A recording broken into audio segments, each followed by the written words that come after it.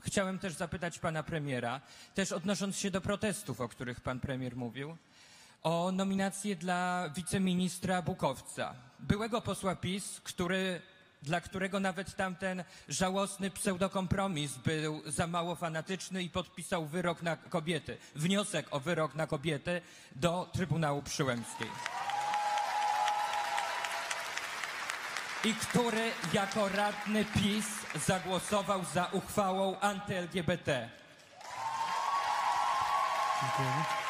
I e, też często e, zwracają uwagę wyborcy koalicji, że w rządzie wiceministrem ist- infrastruktury jest Stanisław Bukowiec. Kiedy był posłem PiS, podpisał się pod wnioskiem do TK, który to ten wyrok w efekcie ograniczył prawo do aborcji.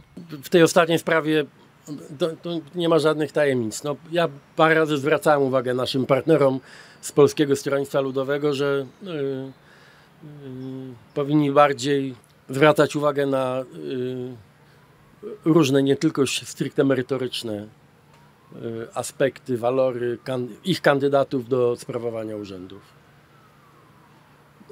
I ja uważam, że to jest na pewno niefortunne z, no, z punktu widzenia tych wszystkich nas tutaj stojących, którzy mają jednoznaczną opinię na temat praw kobiet i, i, i prawa do legalnej aborcji. Fakt, że mm, jednym z wiceministrów jest człowiek, który no, w, jakoś tam pasywnie nie, nie, nie, był, nie był może liderem mm, tego procesu, ale uczestniczył w ograniczaniu praw kobiet, jest y, na pewno czymś y, niestosownym, o tak bym powiedział. Będę jeszcze o tym rozmawiał z prezesem Jakož nějakým kamešem.